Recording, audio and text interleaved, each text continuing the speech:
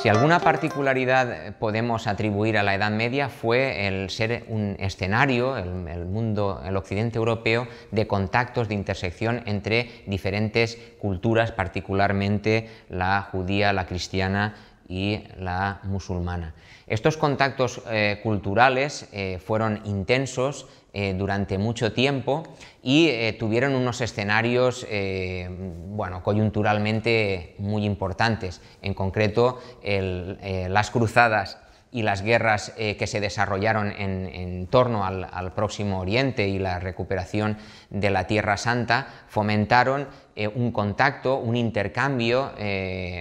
por un lado comercial, aunque fue un choque eh, violento, también estimuló un intercambio comercial, por ejemplo, algunos pueblos como los pisanos fueron eh, especialmente sensibles a, acudir a estas regiones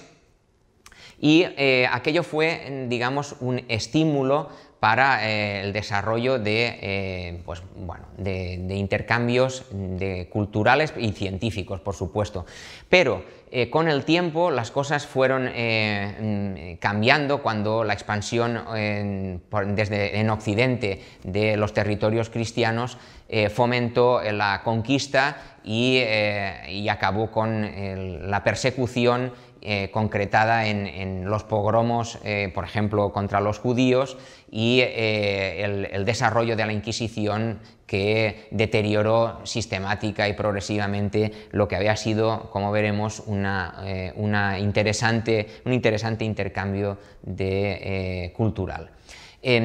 como he dicho, el, primer gran escenario que debemos remarcar es el, Oriente Próximo, aquel de las cruzadas, donde existían centros culturales de primerísimo orden, eh, subrayo el caso de Antioquía, donde se produjo esta intersección eh, de individuos que eh, se instalaron eh, progresivamente y que vieron que se podía obtener una gran masa de información, pero que había que traducir de las otras lenguas en la que estaba escrita concretamente el, griego y el árabe. Con lo cual, en este escenario ya empieza un proceso de traducción de obras que posteriormente los eh, cruzados o los, aquellos individuos también que eh, empezaron a, realizar los intercambios comerciales en aquel escenario, eh, devolvieron a sus tierras de origen. En realidad, si nos situamos, por ejemplo, en el entorno de las prácticas eh, médicas, del conocimiento teórico y práctico de la medicina, con lo que respecta al mundo árabe y el mundo latino, las diferencias eran realmente eh, muy importantes en beneficio de eh, los primeros del mundo, del mundo árabe. Pero este, este, contacto mm, planteó la posibilidad de una transferencia de conocimientos, es decir, el incorporarse esa medicina árabe más rica, más eficaz, eh, que mm, acabó, siendo muy pronto eh, atrayente, eh, seductora y que se tradujo,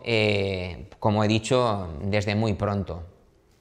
Pero al mismo tiempo, en, el, escenario europeo y concretamente en torno al siglo XI en Salerno, aparece la, primera escuela de medicina que va,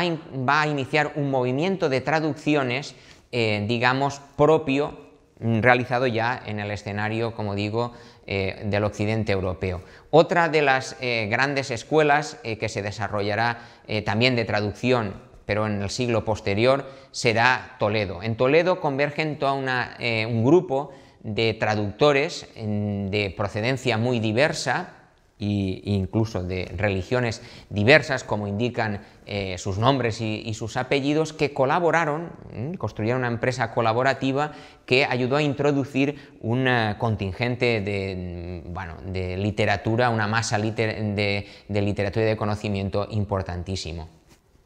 Bueno, el Mediterráneo acabó siendo un escenario durante toda la Baja Edad Media, ya situémonos en el siglo XIII al, XV, eh, de un escenario de confluencia de estas tres religiones, eh, tres religiones em, del libro, que se las ha llamado y teístas,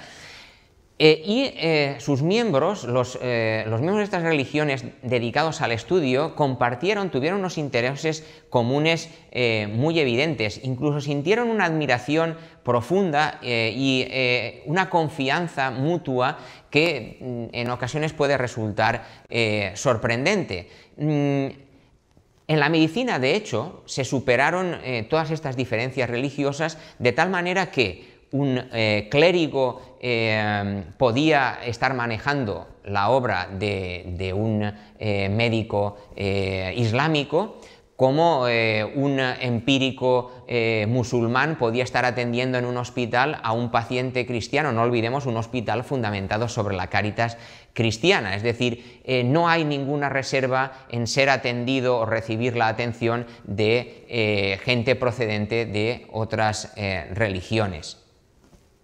Bueno, toda esta eh, masa mm, de información eh, tuvo que armonizarse con, eh, con, la fe, o sea, estas fes, perdón, cada, cada, una de las religiones tuvo que encontrar la manera de armonizar su fe con la filosofía natural aristotélica para quitar, digamos, esa sospecha de paganismo o de, em, de ir en contra incluso de los principios de cada una de la fe de las de las creencias. Esto generó debates y tensiones, sin duda, pero eh, con el tiempo determinados personajes eh, consiguieron eh, poder adaptar, digamos, poder acomodar estos conocimientos a, cada una de, las religiones. En el caso del cristianismo fue, debemos a los dominicos, Alberto Magno y Tomás de Aquino, el haber hecho esta labor durante el, siglo XIII. Maimónides, Maimónides ya lo había hecho también, o lo hizo durante la época con el judaísmo, y siglos antes debemos decir que los